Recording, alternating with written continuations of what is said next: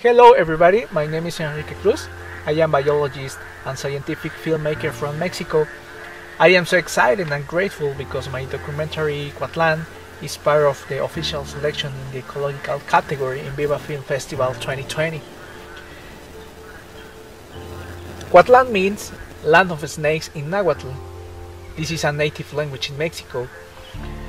This film talks about snakes. Uh, in this film, we show two points of view the vision of scientists and social.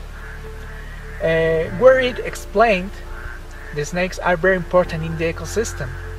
Also, it intends to show a solution and how to preserve and care these organisms.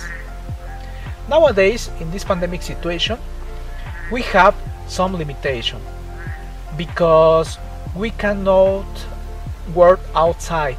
However, we are adapting using alternatives such as online platforms.